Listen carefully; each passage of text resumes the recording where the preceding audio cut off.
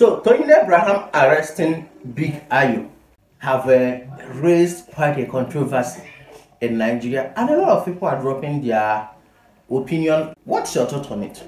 What do you think about this whole issue? Because from my point of view, it's a dicey situation. It's a 50-50 situation. Here's my opinion on the whole issue. You see, people coming for Toyin Abraham, for me, are hypocrites.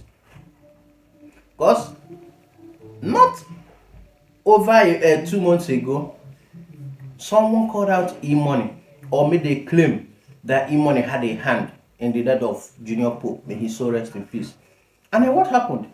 E-Money arrested the guy. And everybody was hailing E-Money, calling on E-Money to arrest the guy that that is a defamation. Which at the end of the day, E-Money arrested the guy. Uh, E-Money faced no backlash. So if you step back to analyze this whole issue, did Ayo defame Toyin Abraham? Maybe. Because suggesting that Toyin Abraham took money from Tinubu, that in itself is a lie. Ayo, you don't know whether she collected money from Tinubu. Nobody knows whether she collected money from Tinubu. So for Ayo to say that, it's a defamation. Now, when you step back and analyze Ayo saying Toyin took money from Tinubu, now we know Nigeria is all about cruise.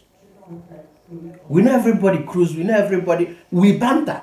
We use, due to the hardship of Nigeria, we relieve our stress by banter. So, in a way, Taya saying that is a way of him bantering Toyin Abraham. So for Toyin Abraham to take it to the extra mile and involving the police, yes, maybe she's angry with the whole accusation and Ayo is the scapegoat for all the accusation and all the was Nigeria has been giving to her on her social media pages. But uh, after arresting Toyin, after arresting Big Ayo, Nigerians decided, you know what? You can't be above everybody. So Nigerians started reporting Toyin's page. Nigerians started reporting her to Netflix, urging Netflix to delete all the videos of Toyin Abraham they have on their platform.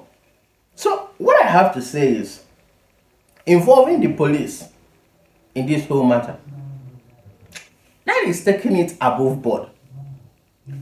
Also, Nigerians seen it as cruise. Remember, at the end of the day, these celebrities, these people, they all have their life, they all have feelings, they all have emotions. A lot of things we say on the street of social media and we do it just to get a reaction from people, just to get a couple of views, just to get a couple of people commenting on our page. Some of them actually hurt when you are the person receiving it. Some of them actually hurt. So, for Toyin Abraham arresting Big Ayo, it's a dicey situation. I'm not for or against Big Ayo. Either am I for or against Toyin Abraham. All I have to say is Toyin Abraham shouldn't have involved the police. And for Ayo, you should be mindful of what you post on the social media. That's all I have to say. But if you don't believe what I have to say, drop your comment of this on, on this whole issue of Toyin Abraham and a big guy and all the boys that is going on in the Nigerian entertainment industry. And I'll see you guys on the next video. Have a blessed day.